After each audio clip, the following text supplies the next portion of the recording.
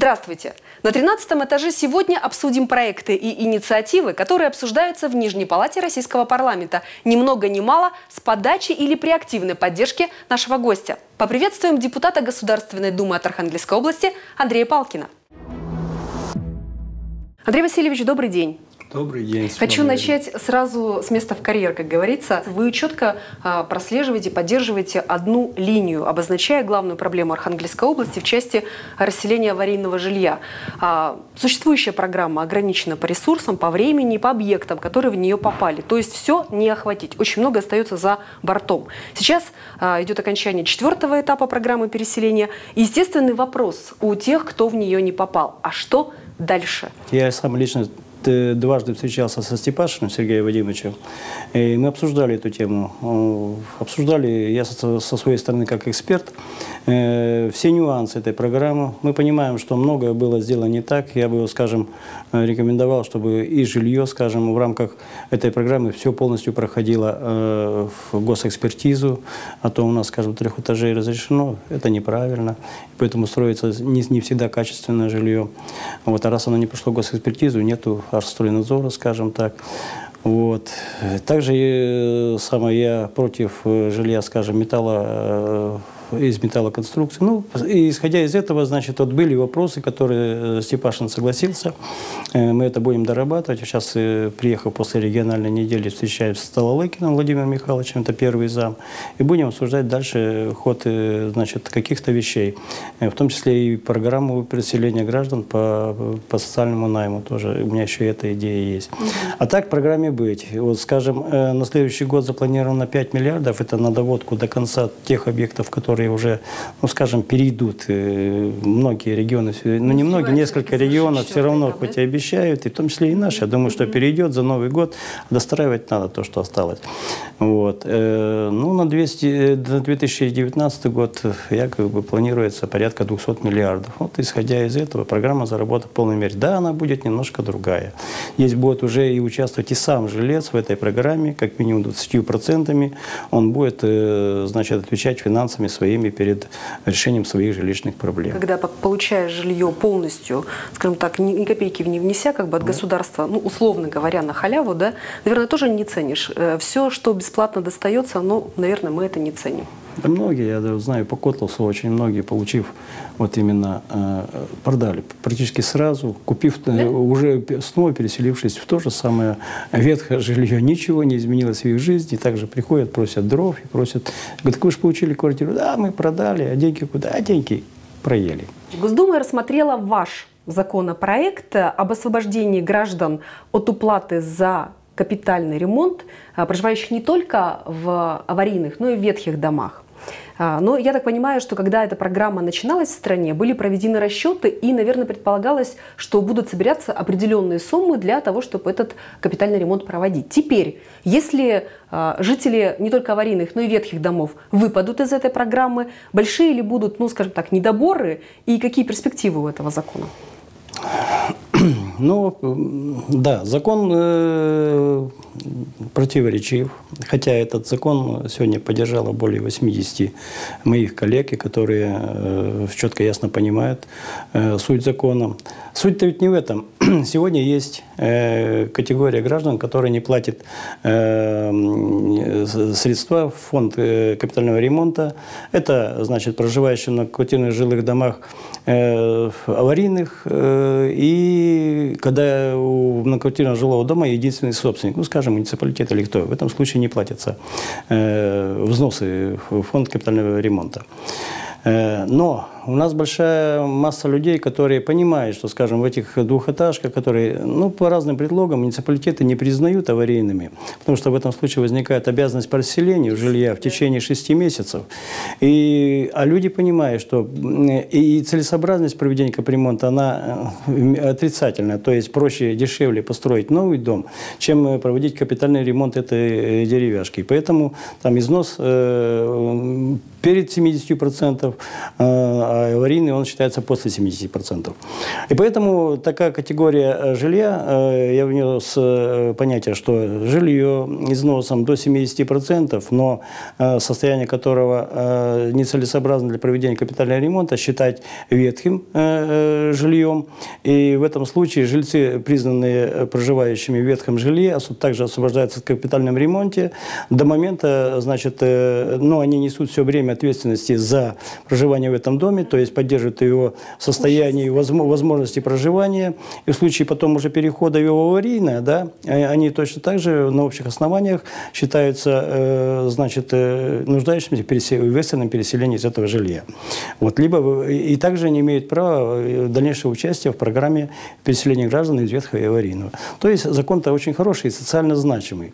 Что вы говорите касается э, выпадающих доходов у, скажем, у э, региональных операторов, так региональные операторы сегодня э, не полностью осваивают те средства, которые поступают. По различным, скажем, при обсуждении даже этого законопроекта в Совете Федерации, Катанандов, это бывший губернатор значит, Республики Карелия, задавал вопросы, что закон вредный и прочее, прочее. А я специально посмотрел, думаю, что, что он, самое, как он относится. У них, скажем, собрано было за прошлый год э, 300, э, а 432 миллиона э, денег да, в Карелии, а из расходов всего э, 140 э, миллионов. В итоге только треть, даже меньше трети они израсходовали денег. Ну, ну а что ж, э, пусть эти деньги как бы накапливаются, лежат, обесцениваются на счетах региональных операторов, потому что э, сегодня, скажем, Татарстан полностью использовал возможности, использовал возможности и даже перебрал немножко деньги, сегодня возвращает. То есть регионы с достаточно э, активной строительной индустрией, они использовали возможности ветхо, ветхо ветхого жилья избавились. А такие регионы, как нас, а таких регионов много, это вся Сибирь, весь Дальний Восток, север э, России, э, к сожалению, не справились с программой. И, но, опять же, люди понимают, да и да, если даже больше коснусь, вот вы понимаете, что проживая в многоквартирном жилом доме, скажем, тоже деревяшке или в каком-то бывшем леспромхозе, люди ведь понимают, что им никогда не проведут ремонт. Но они также платят. Ну, обидно же, правда, что на сегодняшний день они платят, не надеясь на э, взаимную будущую счастливую жизнь. Вот закон закон об этих людях. Закон, у него жизнь есть уже, все? Да, он, он прошел, значит, на сегодняшний день. Э, ну, по сегодня его от, снова отправили мне. Э, значит, э, правовое управление нашло, что там могут быть проблемы с э, какие-то бюджетные, и поэтому через, э, значит, надо будет заключение правительства. Но сейчас будем э, тогда еще дополнительно согласовывать с правительством. Но думаю, что право на жизнь есть. Один закон сейчас у меня в ноябре мой, угу. Закон выносится на уже на рассмотрение Думы прошел все ситуации, два комитета рассмотрели, значит, проводят заключение положительное далось. Это закон о том, что все средства э, именно вложенные э, жителями, э, проживающими в квартирных жилых домах угу. и находящимися на счетах региональных операторов, региональный оператор обязан Э, положительные депозитные счет, все свободные средства обязан положить на депозитный счет, чтобы они mm -hmm. не просто лежали, а то только 8 регионов пользуются этим из 85, вы знаете, э, только 8 регионов положили на депозит, а остальные деньги просто лежат, они просто обесцениваются. В это, в это, согласно этому закону, эти средства будут получать как, как хотя бы, как минимум, э, ставку, ну, 5-6%, э, что хоть маленько сохранить деньги. Вот еще одна инициатива, которую вы поддержали, это распространение системы страхования вкладов на малые и средние предприятия. Агентство по страхованию вкладов, оно вообще поддержало эту инициативу? Ну, тоже добровольно будет брать на себя обременение.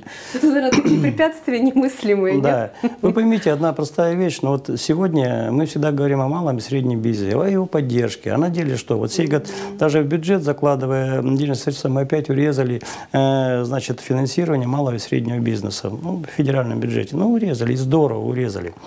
Вот. Исходя из этого, ну что-то ведь надо хотя бы э, то, что деньги, которые остаются у малого-среднего бизнеса в случае банкротства банка, либо каких-то катаклизмов, э, не, не пропали. И поэтому действительно мы э, законом обязали. Ну рады ли, не, не, не рады агентство по страхованию, я не знаю. Думаю, что не очень рады. Но есть закон, который они обязаны будут исполнять. А правительство поддержало вашу такую Ну да, в принципе, да? законопроект Нормально тут все прошло да, без да. Ну как, обсуждение прошло, думаю, будет закон принят. Да. Андрей Васильевич, Еще одна ваша инициатива да, в Государственной Думе – это внесение поправок в закон о потребительском кредите. Вот расскажите, какого рода поправки и ради чего изменять его? Если сама цель поправки, она э, сделать хоть маленько э, более э, или менее защитить население от э, э, действий микрофинансовых организаций. Суть поправки на сегодняшний день Э, судебным приказом можно, и в том числе и, микрофинансовые организации пользуются этим в полной мере. То есть судебные приказы, при проведении судебных разбирательств приходят, подают заявление, и судебный приказ выносит обязательство человека, попавшего в такую зависимость перед микрофинансовой организацией, обязательство выплачивать в полной мере. И, поэт, и, поэт, и поэтому, да, да без судебного расследования, без всего, просто судебным приказом. То есть, угу. и люди, не зная законодательства, они, то есть, э, можно в течение 10 дней обжаловать это, дело и э, снять, и тогда пойдет обыкновенное судебное разбирательство. Но люди у нас в большинстве своем, не зная тонкостей всех, э, самое, а самое интересное, что уже нашли механизмы, то есть посылать как можно позже уведомление, оно приходит крайний день, и люди просто не успевают решить. И потом приходит и ко мне, как депутату, что Андрей Васильевич, что нам делать, а сделать тоже ничего нельзя. То есть если вы не представали решение суда, то есть судебный приказ – это решение суда. Надо исполнять, да? Надо исполнять. И в этом случае э, обратного хода у людей нету. Они попадают в финансовую кабалу, по большому счету. Ну и получается то, что получается. Кто-то идет на процедуру банкротства, вы знаете, что у нас количество банкротов сейчас выросло. Да. Кто-то идет э, вплоть до суицида. Ну вот такие вещи мы э, порой сталкиваемся в этой простой жизни. Этот закон о том, чтобы защитить тех, кто попадается в такие непростые жизненные а ситуации. А этот закон принят? Нет, закон не принят. Он э, топчется на одном месте. Там, значит, э, обсуждения прошли, э, значит, э, в ряде комитетов. Э, мнения разделились. Э, ну, по, по крайней мере, правительство пока еще заключения нету. Пока этот закон не выносится. Сейчас немножко такой философский вопрос, но тем не менее очень хочется спросить вас. Вот прошел год, как вы в Государственной Думе, за это время что-то поменялось? Вот ваше мировоззрение, ваш взгляд на проблемы, на причины, на следствие их? Э, вот если сравнить, например, когда вы были на уровне областного депутата, а потом на уровне депутата Государственной Думы. Вы знаете, когда я был депутатом областного собрания, мне кажется, у меня было возможностей больше. Да у меня свободы было больше. Свободы. Сама Государственная Дума – это институт, который настолько э, запротоколирован, настолько все, э, значит, э, Э, системно выстроена система глубоко. Шаг влево, шаг вправо – это э, уход э, от системы. То есть законопроект, если не проходит значит, совет фракции, совет Думы, он никогда не выйдет, на, не увидит свет. Даже и, пользуясь, скажем так, своим право, правом депутата, он никогда не увидит его, забракуют на самом начальной стадии. Поэтому я говорю, что розовые какие-то такие очки у меня пропали. Угу. Возможности у депутата Государственной Думы э, гораздо, э, они скромнее, чем думают люди. Они думают, что это действительно как волшебник, как фокусник, я могу решить все. Ничего не может решить депутат, потому что финансовой возможности у нее нет, распоряжения ресурсами нет. У нее одно есть, то есть возможность входить в любой кабинет, к любому министру. И у депутата есть статус министра, скажем так, и вот ему дана, дана возможность. Плюс еще неприкосновенность, потому что и поэтому он может более жестко требовать, не боясь за последствия. Вот единственное, что, ну, наверное, этим я и пользуюсь в полной мере. Андрей Васильевич, спасибо вам, что вы пришли сегодня ну, к нам в эту студию, в новую студию региона Спасибо 29. Вам. Спасибо Я напоминаю, что здесь на 13 этаже у нас сегодня был в гостях депутат Государственной Думы от Архангельской области Андрей Палкин. Всего доброго.